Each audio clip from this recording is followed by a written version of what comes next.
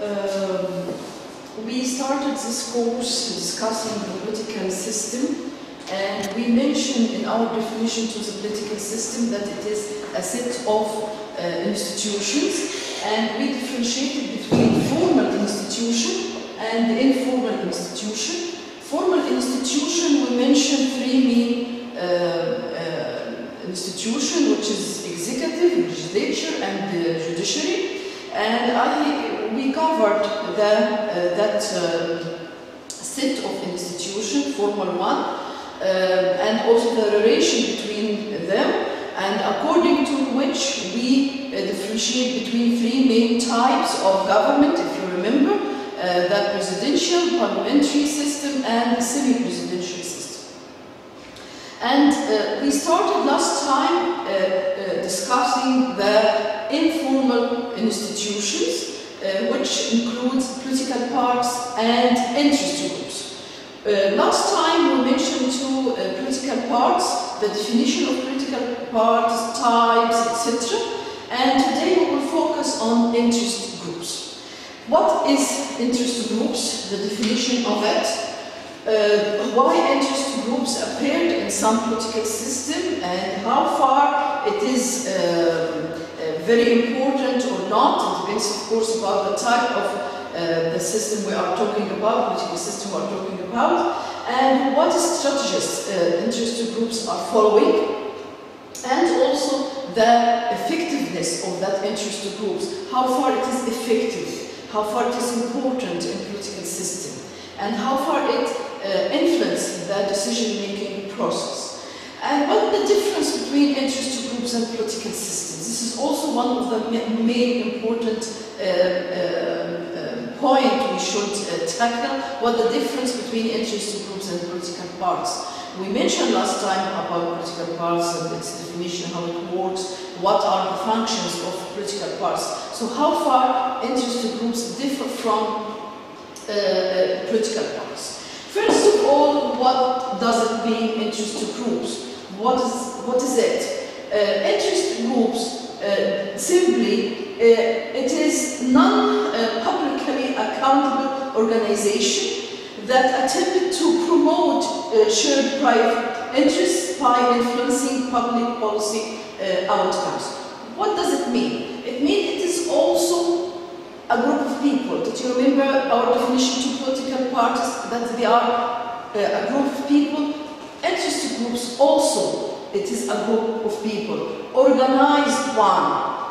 So it is organized group of people, uh, what they are uh, seeking for, what they are looking for from their gathering, simply they are trying to defend their interests, their private interests. Okay? So uh, maybe doctors together, maybe uh, engin engineers together, maybe um, professors together, whatever, can form some kind of interest groups. Of, course, the most famous is labor union. This is the most, the most famous uh, interest groups. Um, workers together are united themselves, organize themselves to, have, to, to, to be able to influence the policies which affect them as workers. So uh, simply, uh, the interest they are also a group of people, organized one, uh, seeking influence on, on decision-making process that related to their interests. Another defi definition, it is a collection of people trying to influence government, simply. So they are a group of people, some people organize themselves together to influence the government or the decision-making uh, and policy-making process for their private interest. Okay? And the most important point in that definition that they are sharing uh, the private interest. So they are having the same interest. What they gather, not like political parties, program or political ideology, what they are gathering together is their private interests. Okay? So, some interest groups are uh, transit, others permanent. What does it mean? It means that some interest groups appear suddenly because of or uh, uh, some urgent matter affecting uh, the people or those people uh, interest. So it appeared and it uh, disappeared as long as uh, that interest uh, achieved. So it is disappeared. Some other interest groups are permanent, like I what I mentioned, trade, uh, trade union or workers unions, uh, labor unions, they are all uh, having uh, that continuity because what because their interest is also continuous. So uh, the main uh, goal for them continue and the interest group also continue. And as I mentioned, most famous is labor unions. Some focus on influencing a particular policy, other on proud changes. Uh, what does it mean? It means that some of interest groups uh, focusing on um, one uh, policy, um, uh, they are focusing on a particular decision making or a particular process concerning um, one of the main uh, public policies. Uh, like, uh, for example, those are caring about health care, for example. They are focusing on that matter only and they are defending that matter only. Uh, labor union, for example, maybe they are focusing on wages, okay, or um, how many hours of, of working, etc. But uh, others having such proud changes. They are not looking to their very uh, uh limited private uh, interests, but they have a little bit wider scope for, for their out of their uh, uh, private interests. Uh, maybe there are, for example, women's groups. Usually they are looking for a dramatic changes in the society to improve the situation of women and to empower women politically, economically, socially, so they have a little bit prouder School. Also environmental groups, uh, they are also defending environment in, in a wider scope. Some uh, work through executive or administrative agency, other through the judicial or legislature uh, sector, and still others through public opinion. And we will discuss that uh, uh, uh later when we are talking about structures of interest groups. That some of interest groups uh, focusing more and more about executive and try to penetrate or seeking some influence on uh, executive, uh, mean president, prime minister, ministers, whatever, the government in, in general. And others trying to have some influence within judiciary system or within the legislature, within the parliament, through the uh, parliamentary uh, members uh, or members in the parliament, etc. And others working on public opinion to raise some uh, uh, awareness within the public opinion with the matter they are seeking for or defending or want to change uh, upon it. So uh, they are trying to have to raise public opinion awareness and to push forward some kind of uh, public support to their uh, matter or to their issue. Uh, so this is how interest group is working and different types of uh, interest groups. In all those types, we start with the definition that they are the uh, interest groups group of people organized one seeking still private interest, okay, and uh, uh, try to influence the decision-making process for that uh, purpose or reason. Um, why interest groups? Why some interest groups or interest groups uh, appear in the society or in some systems? Every advanced society is uh, pluralistic with many industrial, cultural, economic, educational, ethnic and religious groups. What does it mean? It, it means that all societies, with their different uh, types, of political system, etc. They have some kind of pluralistic. We have different groups. Different groups, maybe in uh, industrial level, okay, developed or underdeveloped or developing countries. We have culture, different culture groups, economic uh, groups, uh, educational one, okay, ethnic, sometimes uh, we, many uh, uh, African countries actually have different ethnic in particular groups, and religious groups, maybe the society have Muslim, Christian, Jewish, whatever, so all pluralistic society have different groups with different interests and different priorities, of course, to their private interests. Uh, divergent interests uh, led almost automatically to group uh, formation to push their own interests and creation a balance of opposing interests. As soon as we have different interests, different groups, so logically, automatically, that uh, each group will try to organize itself and to uh, uh, uh forward its own interests upon the uh, political agenda. So uh, interest groups usually appear to defend, to defend, to push forward their own interests because other groups also doing the same. So, for, for example, in uh, United States, we have whites, we have blacks, etc. So usually uh, the blacks groups usually push forward uh, their agenda, their interests, uh, their, um, uh, uh, their own priorities, okay, and the same as other groups in the society. Also, women's group usually defend women against other groups. Um, environmental groups, as we mentioned, usually defending the environment and to keep uh, the environment clean, etc., etc. So, uh, different interests in society, different groups, whether according to industrial, culture, economic, ethical, whatever, uh, usually defend them, their own interests, and that's why interest groups came into being. So it is normal phenomena as long as the society have such pluralistic uh, in its own uh, in its own uh, structure.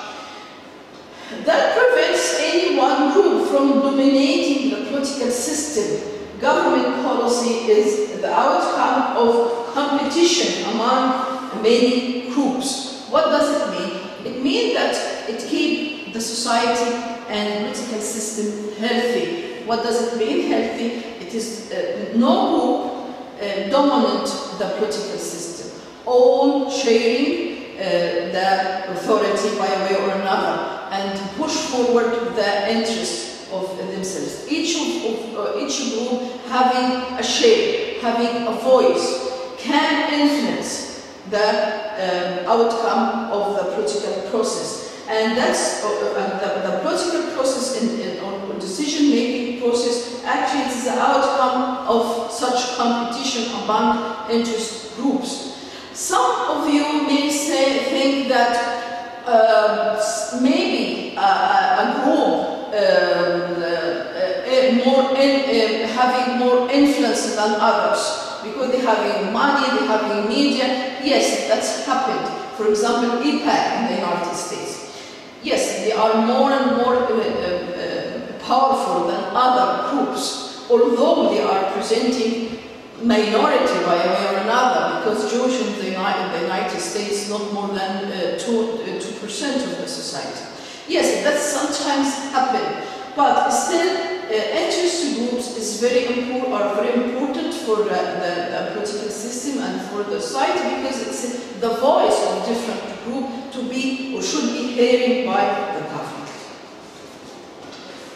Uh, second point, which we, we mentioned before, the structures.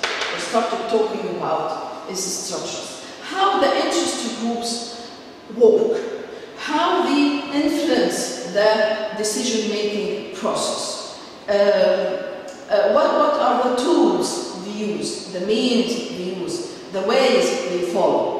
Here we can differentiate between two main strategies, direct and indirect. So interest groups use two kinds of strategies to advance their causes, their interests, okay, their priorities.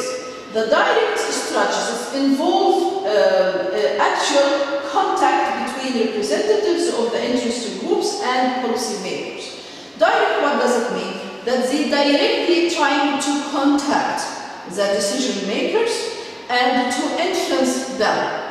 What does it mean? It means that directly they are going to the minister or the prime minister or the president even and trying to explain to him or to her what is going on, what their interests and what they prefer. Okay?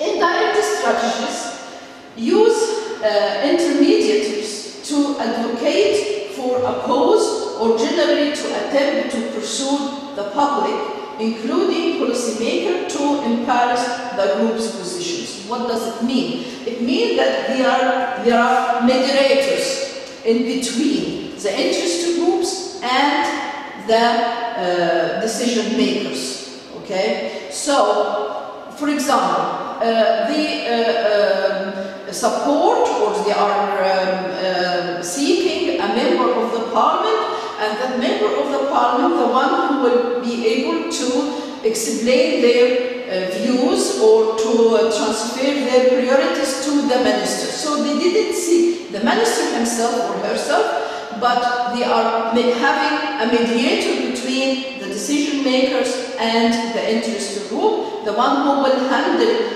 uh, that uh, mission and who will try to explain their views and priorities. Uh, the most, one of the most important strategies in that is lobbying. Sorry. Lobbying is one of the most important strategies, uh, and it is very famous in the United States. Uh, very famous also if you are talking about Jewish lobbying, okay, like AIPAC. Uh, you see in the picture, it is, uh, uh, uh that means those are the samples of both Democrats and Republicans in the United States. And what does it mean? It means simply that the interest groups like AIPAC having both of them, trying to affect both of them. What does it mean also? It means that the interest groups um, uh, uh, uh, don't keep themselves busy with political issues. They don't care about whoever in the power. They want to influence whoever in power for their private interest. Okay? This is the message of this cartoon. Lobbying is a strategy by which interest groups seek to influence the passage of legislation by exerting pressure on members of the legislation. What does it mean? It means that they are trying to influence a particular law, okay? in the suppose that the, the parliament uh, wanted to issue a law, okay, concerning wages, for example. Here, uh, uh, uh, labor union should uh, try to affect that uh, legislation, okay, or that law to be in their favor, or at least minimize the negative impact of that law on them. So usually lobbying is very important, very famous as I told you in the United States. Maybe the United States is uh, the most famous example for that lobbying and also the Jewish lobbying, particularly AIPAC, etc. Also the most famous example in the world for lobbying. Here you see another cartoon explain the idea of lobbying they are paying money simply, so they affect by using money.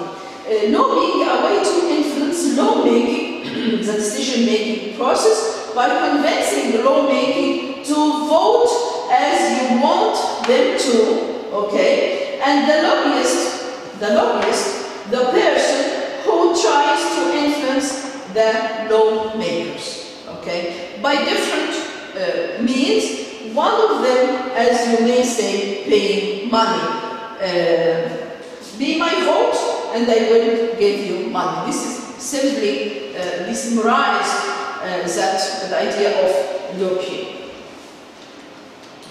Uh, so, uh, we have different here ways, okay, uh, to exercise uh, some influence or to have some influence about the, uh, the, the, the decision makers or the process itself. Maybe lobbying, gaining access. What does it mean? Gaining access is to have, as we mentioned, direct contact to some decision makers, using the courts to uh, penetrate by way or another to the judiciary system, using electoral, it means to affect the voting, okay, in favor to, in, for a candidate against the other, because that candidate promised to uh, serve or to maintain the interests of the interest groups. And uh, this is one of the most important also tools is to um, uh, support one candidate, uh, whatever uh, in uh, parliamentary elections or in presidential elections, to support a particular candidate who will support the interest groups of the uh, the interest of the interest groups. Uh, here also another uh, form of, of that, of the strategies, may be used also by interest groups. How can interest groups influence government? So we start with the general uh, strategies, focusing on lobbying, and here we are focusing on what are the strategies we can, or the interest groups can use uh, concerning the government only. Because we mentioned that it may work to the government, it may work to the parliament or the judiciary system. So we are here focusing on the strategies concerning affecting the government. Okay? Here we have available to the interest groups. First, inform the public is to make the public, public opinion aware, the people aware of what is going on. And elected officials about issues that matter to the group. Donate money, giving money. So awareness or inform the public.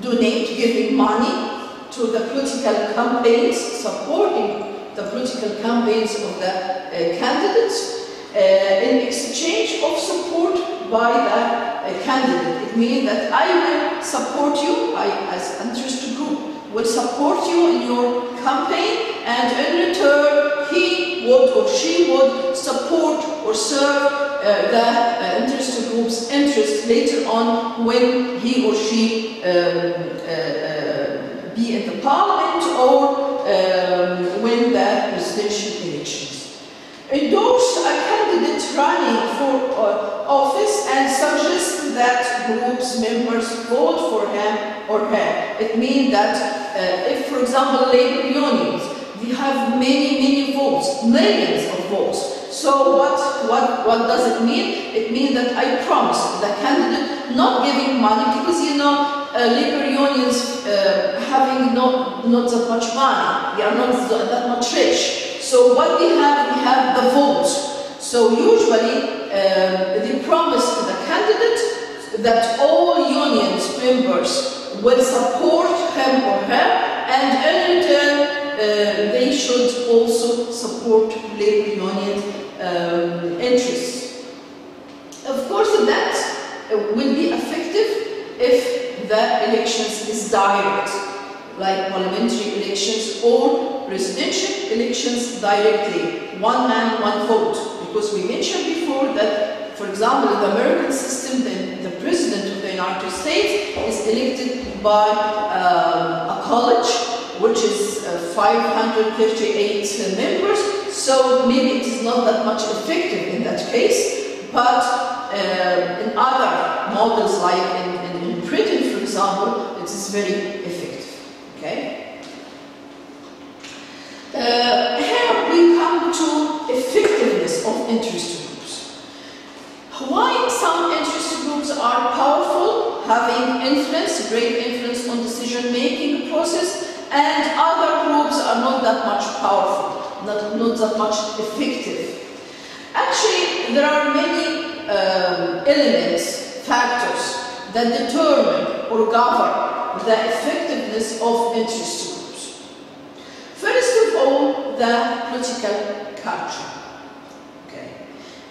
The whole uh, system, the whole society, the interest group is working on. Political culture, what does it mean? Interest groups flourish in pluralistic societies that have traditions of local self-government and uh, of forming associations. Of course, interest groups will be more powerful in a pluralistic society. What does it mean? A, a democratic one that allow freedom of organization, freedom of speech, freedom of uh, moving, okay? Uh, so, uh, of course, if the interest group in a pluralistic, democratic society, it will flourish, it will be successful, it will be influenced, it will be effective than uh, other groups uh, in authoritarian, totalitarian, or dictatorship uh, system which not allowing that much um, movement or, or, that much freedom to uh, groups in general, okay, to work. The second is the rise of big money. The rise of big money, what does it mean? It means the more the interest groups are rich, the more they can be effective. Money is, the, is probably the most important factor uh, in interest group success.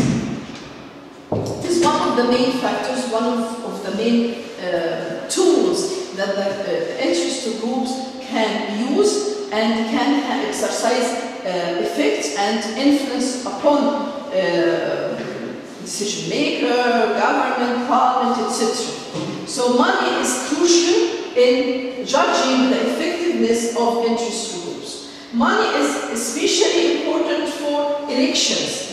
Here coming the money, campaigns, paying money. If can see, yes, here, you know, here we mentioned money. And in others, lobby, and here also, we mentioned uh, in lobbying and in others, money is very effective. That's why, although we mentioned before, AIPAC is not so many people. Jewish is only 2% of the whole American society, but they, very, they are very effective because they have money. So money is, is very important in uh, uh, interest groups uh, work and it can really uh, empower the group and giving it much more influence than others. Money is especially, as we mentioned, important in elections because supporting campaigns, uh, campaigns for candidates in the parliament or uh, support the campaign of presidential elections, of course it, it matters. And as soon as that member uh, reach the power, reach the seat in the parliament or uh, the White House, of course, it would serve the interest group's interest. That's why uh, in, in, uh, usually in the American system, you couldn't differentiate that much between Republican and Democrats, especially if it is concerning Israel issues and Middle East issues. Why? Because uh, AIPAC is very uh, powerful, it's very effective, and usually, did you remember the one we mentioned that usually they are supporting both candidates of the Democratic and Republican uh, one for the presidency. Why? Because to have influence upon any president coming to the White House. Uh, the rise of, the third factor is the rise of uh, single issue groups. What does it mean? It means that perhaps the second greatest factor, the second important factor that govern the power of interest group, the influence of interest group, uh, uh, uh, after money, of course, is the intensity of the issue involved. What does it mean? How far the issue is very important, crucial for the society. So if we are talking about something emergency, something like education, like health healthcare, something touch each one in the society. That would make the interest group more powerful. So also the issue is very important. If we are, of the interest group uh, work on a particular issue and that issue is very important, very crucial for most of the people in the society. The fourth factor is the size and membership. Why uh, labor uh, unions are powerful, although they, they don't have enough money or that much money. We mentioned that money is most important, yes. But although that uh, labor union is still very important and having influence, having great uh, effect. Why? Because of their size, their membership, particularly in industrial countries. Big industrial countries like United States, Britain, um, Japan, whatever, those countries, the Germany of course, that the labor union are very powerful because they are representing millions of workers uh, uh, uh, in the country. So they are so powerful. So their size and intensity of their membership give groups clout, give the groups power, give it uh, influence.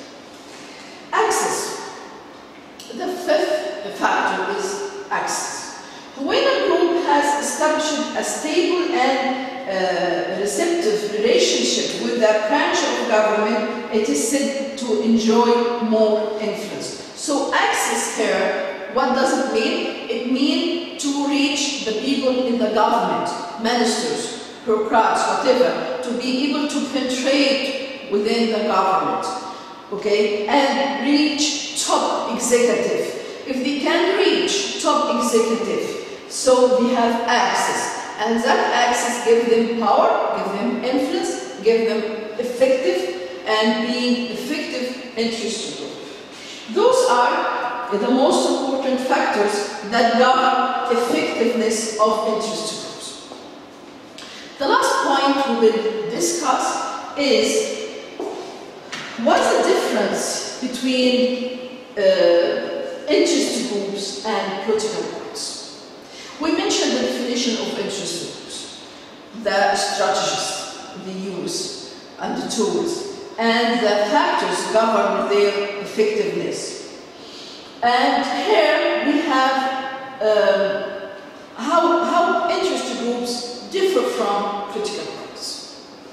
First of all, both of them, as we mentioned, are an organized group of people so both of them uh, based on people and organization of those people. Okay? Interest groups are a bit like political parties in that, that they are both a group of people and uh, both also having organization or uh, uh they are organized, not only just people or a group of people because you and your friends are a group of people, but uh, are you a political party or interest groups? No, not yet. Okay? So it is not just a group of people, but organized one and having the same goal. The goal here is different. Both trying to influence public policy. Yes. Both of them trying to influence public policy. But interest groups do it outside the electoral process and are not responsible to the public. What does it mean? It means that the interest group is not in power. They don't nominate candidates for parliament or for the presidential elections. But political parties, did you remember, one of the main functions of the political parties is to nominate candidates for the uh, parliament or the president and they have a program for seeking power. It means what? It means that political parties, by their, by, by their definition, uh, aim to reach power, to have power, to control the power, to be in office as a government or as a president, whoever. But interest group uh, they don't care about who, who will be in power. they only care about their interest. They want to achieve their private interest, their group interest, whoever in power. So they don't seek power, but they only want to influence whoever in power. A party must win elections. Did you remember?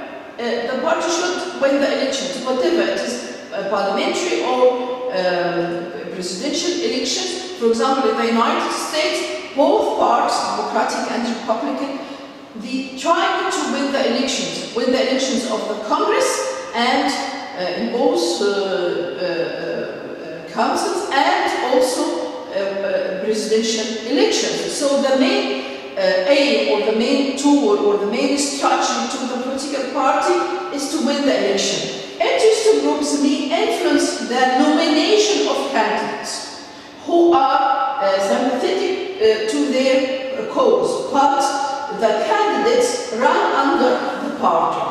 Uh, we mentioned that interest groups may support some candidates to push them to power.